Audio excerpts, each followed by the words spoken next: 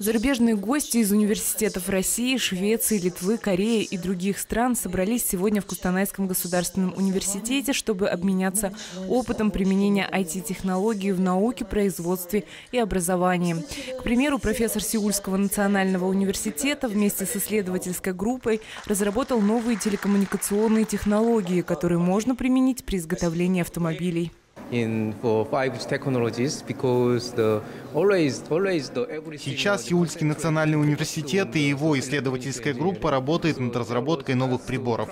Их называют приборами пятого поколения. Непосредственно я занимаюсь разработкой антенн для использования в машиностроении и в технике. Несмотря на то, что этот проект с 3D-антеннами и с приборами нового поколения работает и разрабатывается в течение 10 лет, тем не менее существуют определенные проблемы, чтобы действительно внедрить внедрить это и использовать как новые технологии в машиностроении.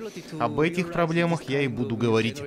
Зарубежные гости намерены развивать в нашей области и ветеринарию. По словам доктора наук Литовского университета науки здоровья, у кустанайских студентов большие перспективы.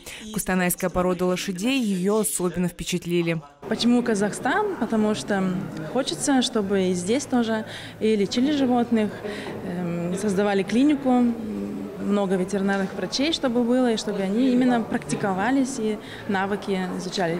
Буду сегодня делиться о других возможностях, потому что, как ну, в Европе, мы в Европе и Литве, то случается практика, не разрешается животных использовать для обучения, и мы ищем поиски других э, симуляторов, создаем сами симуляторы. Если даже европейские учебные заведения отличаются своей материальной базой от местных вузов, то есть и такие лаборатории, где лидируем мы.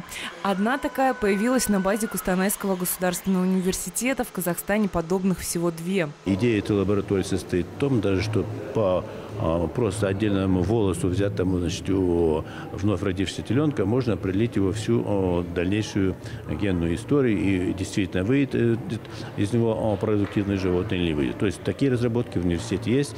Естественно, значит, они будут востребованы производством. С цифровизацией Казахстана, по словам специалистов, большие изменения должны произойти не только в науке, но и в производстве. Внедрение умных технологий в развитие агропромышленного комплекса должно вывести предприятия на новый уровень и повысить производительность труда. Виктор Ваташко, Екатерина Комиссарова, РТН.